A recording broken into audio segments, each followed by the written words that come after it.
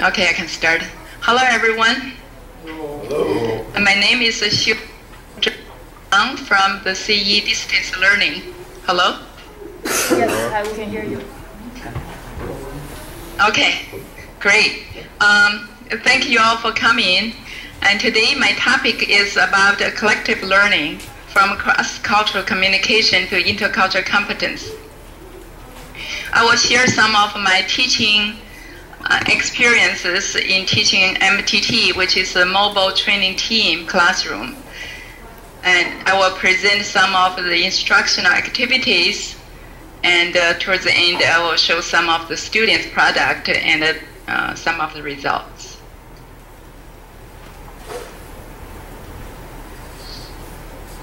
This is the summary, what I'm going to share with everybody for today. Um, let me move for that. Sounds like I have something there. Okay.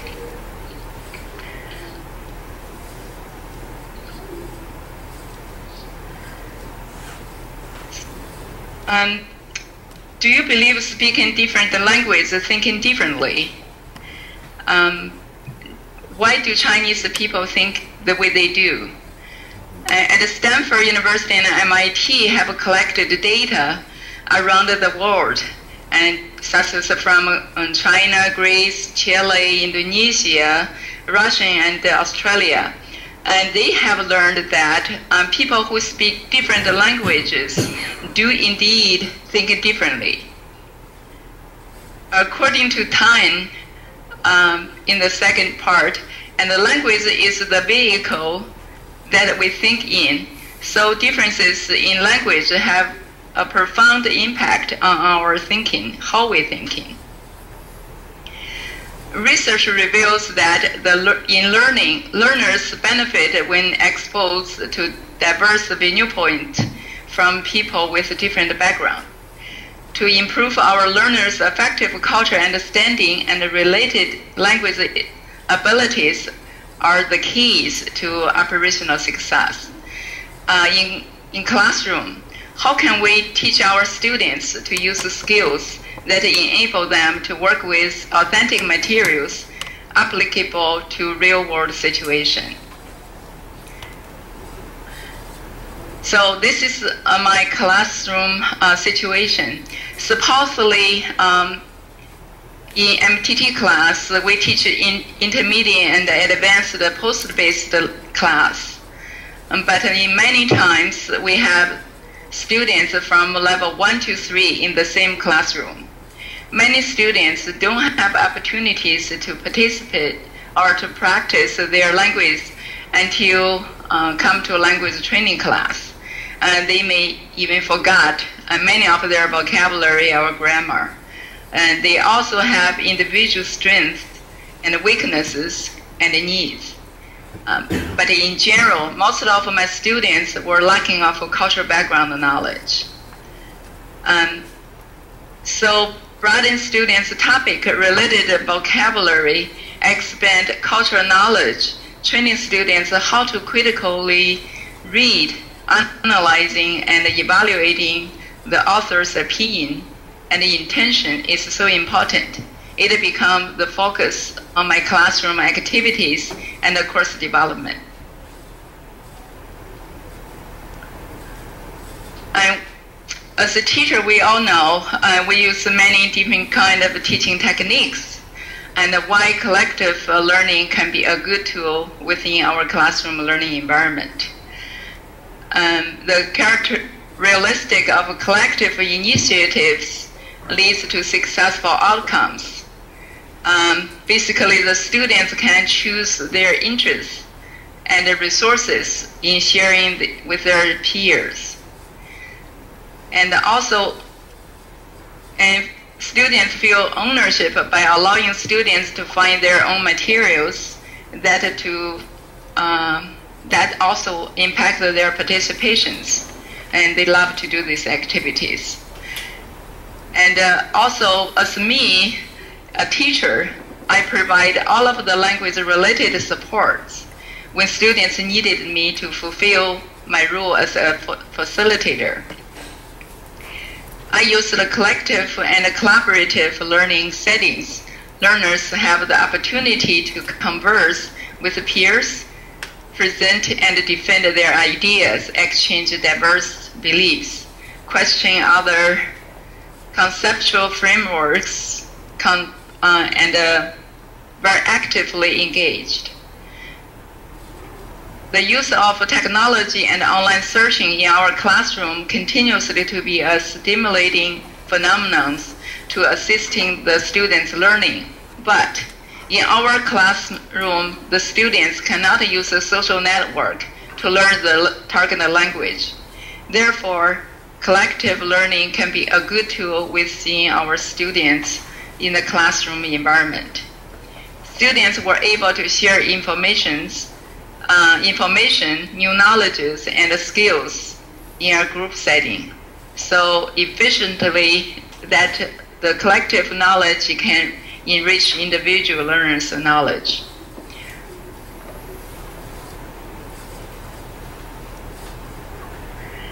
So some people don't believe Chinese have grammar.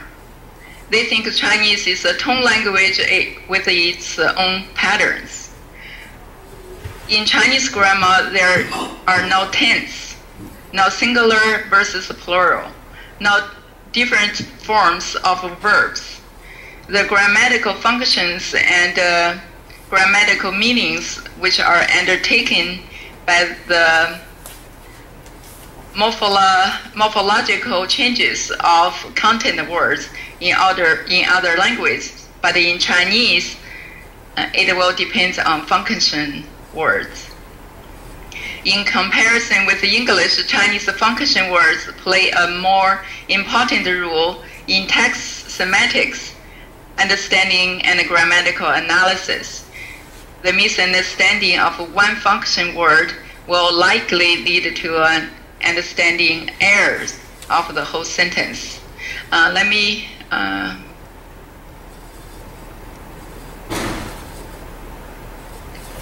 Oh, that's the wrong uh, file I linked. Sorry. So that's the one of the uh, grammar uh, for function words and uh, many teacher uses and to teach the students and use the sentences example sentences to analyzing of Chinese function words and translate the difficult sentences and analyze the using of the function words and, and the patterns. And uh, also reading articles highlight the main verb on each sentence. And also writing exercise with verbs, function words, and uh, some, and so on. Um, that's kind of, uh, that's the program designed, uh, many people use, used on this. So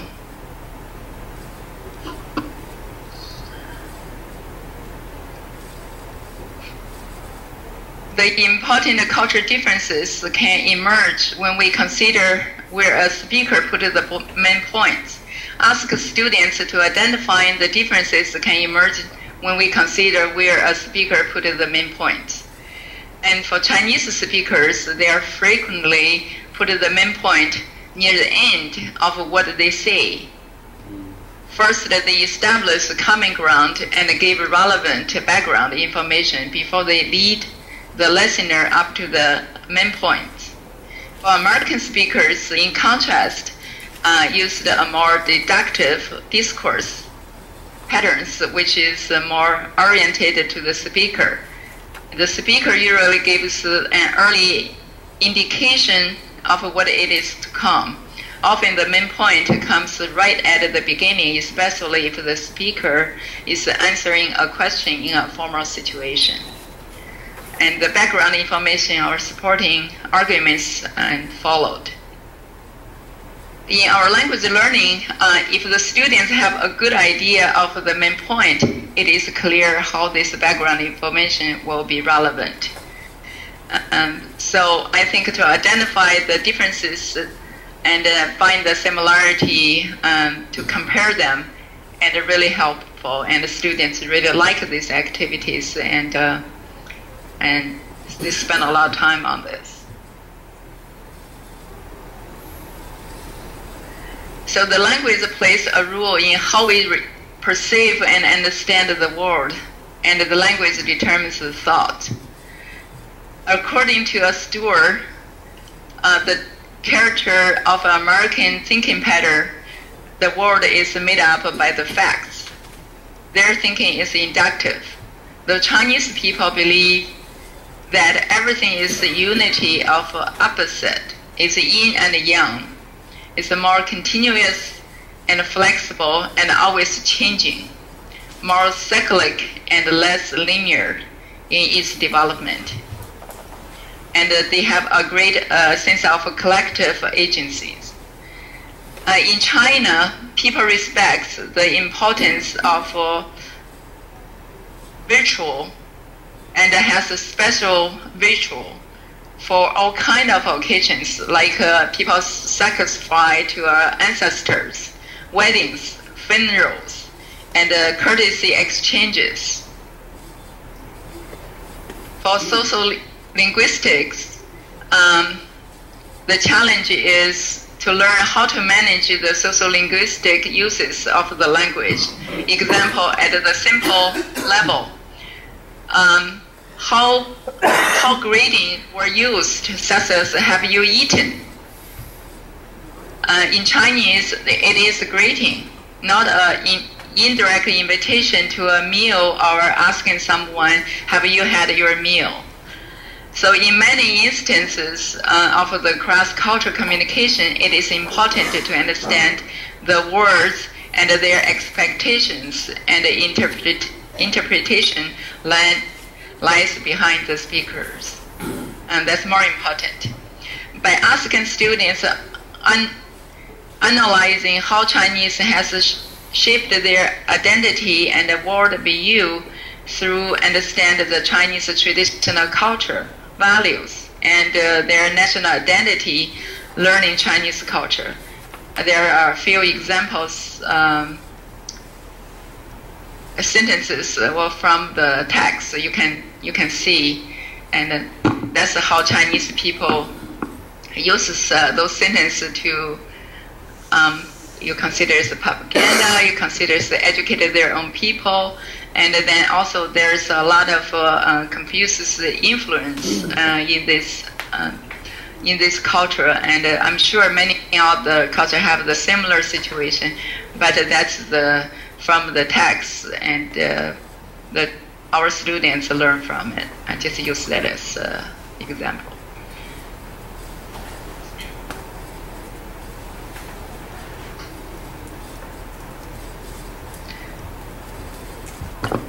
So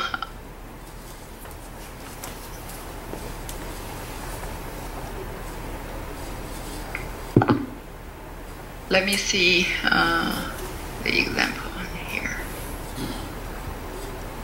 So this is an article about uh, um,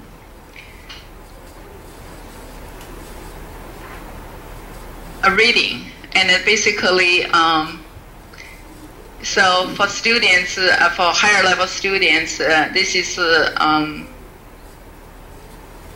the, the basically the writing about in, uh, Chinese college entry exam, and the students wrote for uh, go to college, and uh, and with this kind of uh, uh, articles.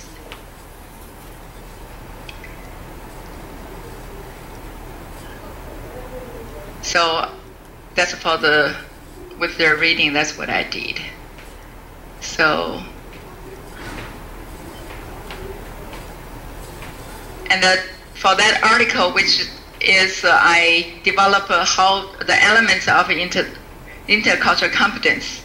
The intercultural competence is the ability to develop uh, target knowledge, skills, knowledge and skills and attitude that uh, leads to visible behavior and communication that are both effective and uh, appropriate in intercultural interactions.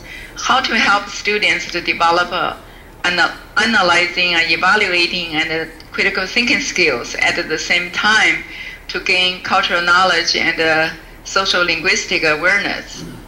So in college, at the each les- lesson, I designed a PowerPoint to let the students to use their background knowledge to view and explain basic cultural knowledge on flow topics.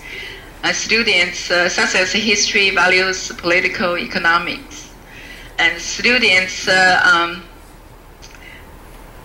and always fight who's going to speak first and more and what do they know and uh, sometimes I use video clips uh, and to acquire differences in verbal and nonverbal communication. For skills, um, I have used listening, observing, and evaluating techniques to view others' perspectives. In Chinese, like uh, uh, Changqiang San Ren Xing on the roundtable discussion um, use uh, analyzing, interpreting, and relating and uh, comparative techniques to seeking out linkage, interconnections, and relationships. Critically uh, view and uh, assess China's situation from different people's point of view and identify the differences between speakers or uh, medias. Example, students will read uh, different articles from different sources uh, on the same topic, then report to each other and compare and contrast the similarities and uh, differences. And for attitude, always uh, good to remind students to have open-minded, and when they find out um, other cultures so different from their own own values, especially when they read articles that have different opinion from their own beliefs. It is important to understand that it is uh, what is uh, the author's intention, what does the author wants the readers to know view from outside of the box to understand that what the author wants the readers to know rather than to criticize the differences for language learning purpose. And sometimes the students carry it out and they find out one thing they think is uh, outrageous, they will just on and on continuously and sometimes the time move on, they, they won't even able to finish um, what uh, we're reading our discussion. So always good to remind students. So, so language classes are especially uh, suitable for teaching critical thinking skills due to the wealth of material and uh, interactive methods. Uh, all of the characteristics I mentioned above can be linked to language learning and one way, uh, in one way or another uh, introduce a new subject in the class, ask students to tie, to link what they already know to what they are facing now in order to predict or make some uh, generalization for further similar subjects. Um, but in a reasonable way, it is very useful too.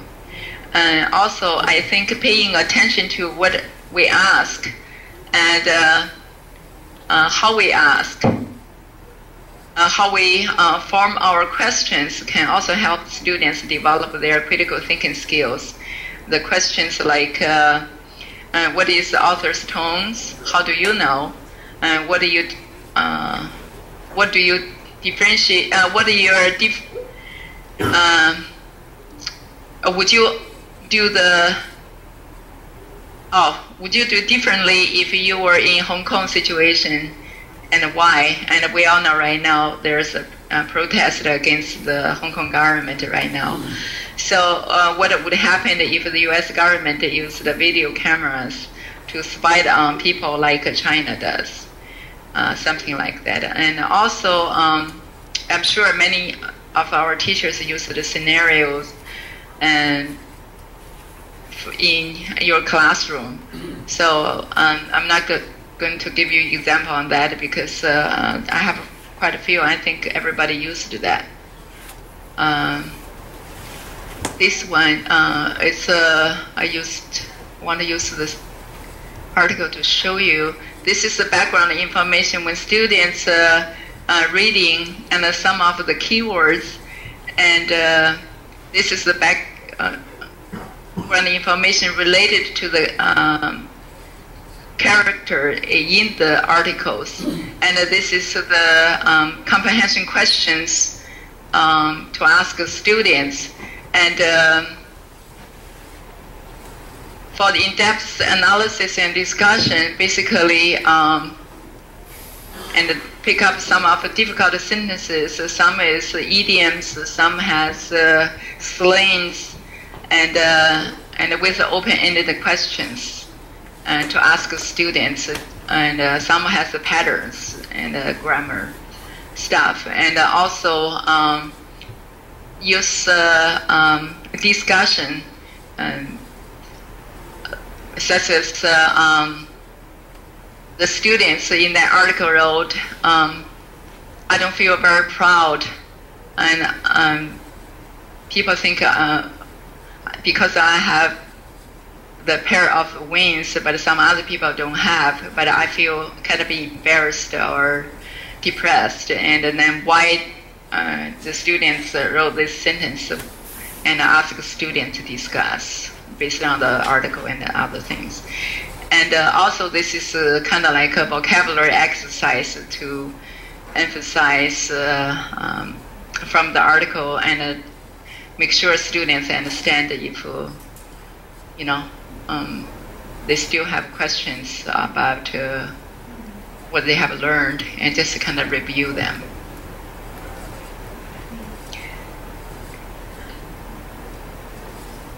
So, and uh, today I wanted to um, share with you about the project I did in uh, my class.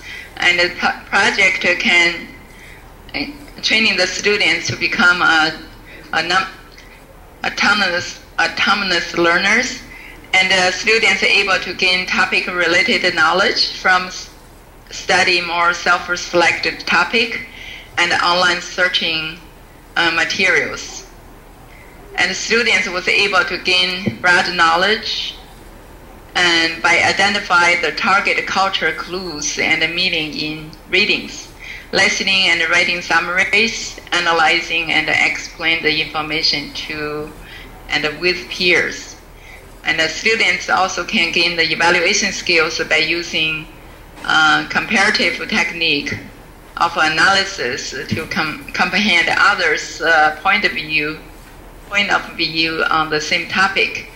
And they also gain organizational skills and uh, creativities through written a full article as an end product, uh, improve students' intercultural competence um, by the end of the product, uh, project. It gives them uh, competence about what they have learned on their topic after four weeks reading, listening, and uh, writing. And because the MTT class have five weeks long, um, supposed for intermediate to advanced uh, class is five weeks. Sometimes they have six weeks, but very few right now. Um, more is five weeks long. Um, when students uh, uh, orally um, present their studies uh, to the class by the end of the project, uh, students can show their confidence and uh, the speech, and they were comfortable uh, present what they have learned from their research during the class. And the project uh, uh, did uh, attracted students' interest and uh, curiosity. these students are shaking more um, of the target culture and gain more cultural knowledge regarding the topic they are interested and studied. Um, so they're learning uh, the culture background knowledge in the broad way by doing the project. Their understanding was deeper um, by analyzing different authors or speakers' perspectives. Uh, perspectives. I want to show you a few of the. Um, that's the um, one of the article student read article. They, that's the summary they write, and then when they turn in, I will check and. Uh, to edit and send it back to them. So that's the article four. So that student is about the Chinese uh, economy, and this is a good student. Um, she uh, choosing that topic because she want to challenge herself, and she uh, doesn't. She has very little knowledge about the Chinese uh, econo- uh, economy or economics, and then that's why he, uh, she choose to uh, do this research. Um, okay, this is a. Normally they have between four to six articles, and then by the week four, each week we have two times. Um, by week uh, four, they start writing their introduction based on what they have studied. And then they will uh, put all those articles together and with their introduction, with all of their uh, summary, they was, this is a six uh, article summary, and they do a comparison, and this is this article, and then they do a, a conclusion in the last. Um, so basically, um, that's how many. Oh, I guess it's five articles, and uh, they were long articles. These students were. Uh, that's their final product. Then after that, the students will do a, a oral presentation um, about uh, um, their learning. I share that with the class. Um, that was uh, the students, the PowerPoint and the presentations. So, and uh, I just share, and this student, uh, and also was a good student. He, and what he does is he read uh, articles. He write in uh, summary in English and then kind of like translate into Chinese. Um, so that's the way he he liked to do it. I normally uh, encourage the student write in Chinese, uh, and but some students feel very difficult to do it.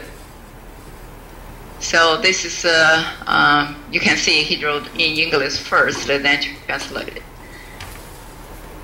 So, and uh, he was uh, uh graduate from college uh, about uh, nutrition. So that's what he want to find out about the Chinese uh, um, food industry, and that's his writing. So his uh, presentations.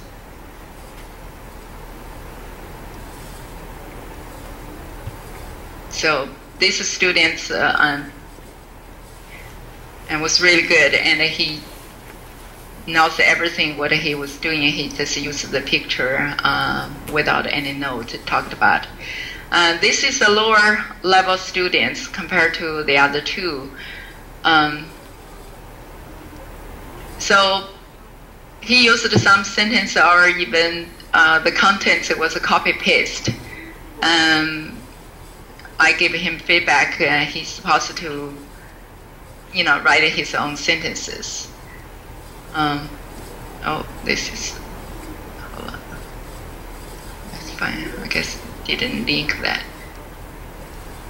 So, although toward the end it looks like a, a good writing, but a lot of the sentences, it took me forever to um, correct them and then make him rewrite. Um, this is a lot of time use. Uh, when he did uh, he did a topic with the election in Taiwan. Um, they still current, and uh, he used a lot of pictures and then and basically read through what he wrote from his uh, uh, presentation. Um, when the student doing the presentation and everybody used the rubric uh, to kind of help each other. Um, what they did good, or what they didn't do well, and towards the end, that we kind of give feedback uh, to help students understand what they have done, uh, what uh, needed to be improved uh, if they have to redo that again. So, and that's the project uh, my students uh, did. And like what I mentioned in the beginning, um, most of the classroom have the level differences and from level one, sometimes even below one to level um, three. Um, the list the message that were used in helping individual students and their need and on this list i used that uh, as example as materials and i was modified the full length articles to fit in the lower level students ask more general questions in their worksheets uh, like a 5W1H, that type of questions. For higher level students, I will add uh, open-ended questions uh, pair students up to check uh, each other's answers. Uh, for but for courtesy, um, I don't normally give the students the article like a lower level, higher level. I ask students to choose what they like to read.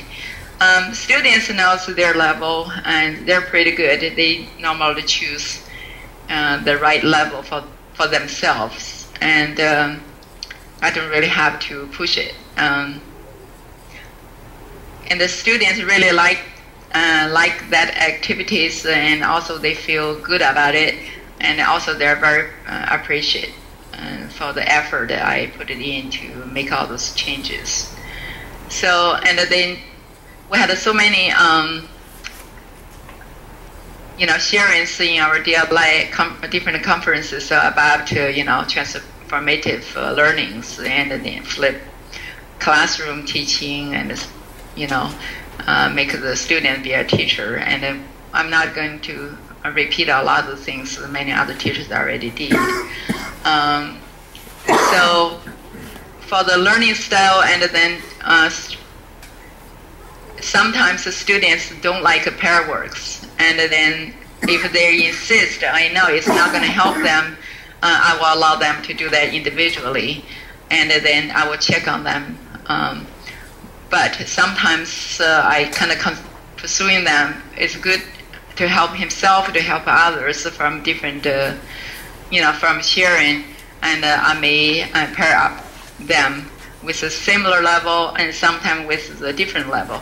Uh, like if they do the same topic, they have a different level, and still for the first part and the lower level students can share what they, they got, and then the, the higher level students will uh, check if they have the same understanding, but also he will share what uh, he had with the full articles about, you know, um, some like uh, the author's opinion or uh, attitude or uh, different tones with different vocabulary.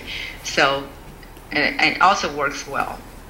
So in classroom uh, assignment and the homework, because the the class is six hours a day in classroom, but they also have a two hours class uh, homework assignment. And normally that's the time I assign the different uh, homework for individual students and based on their uh, weaknesses and the needs.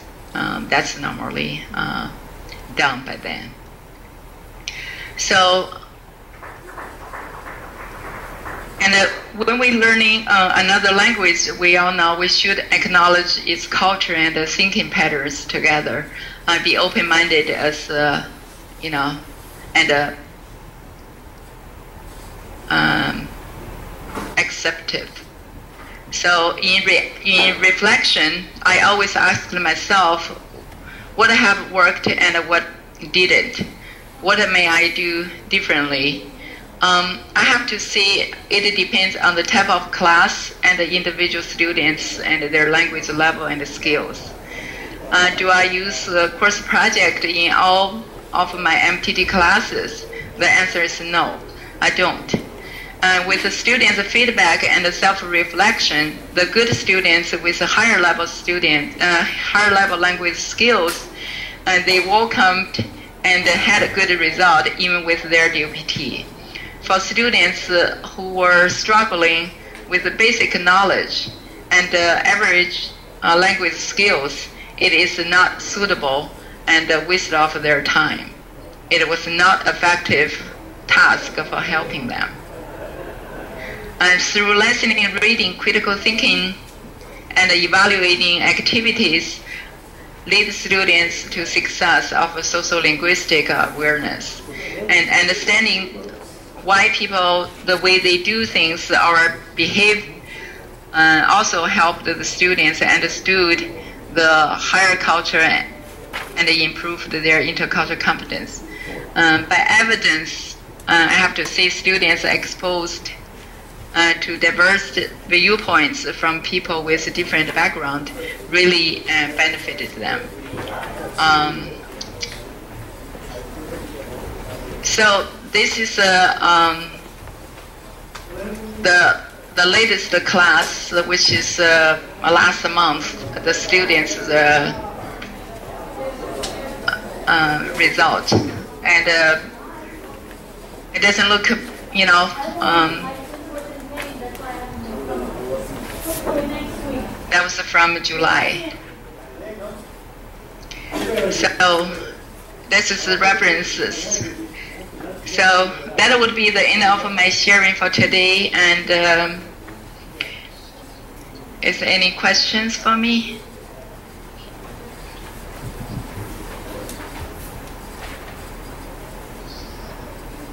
Should I turn off this? Thank you very much. Thank you. Thank you. No, it's very good here. All right. Thank you much, and then have a great uh, Labor Day weekend. Thank you for coming. Yeah, thank you.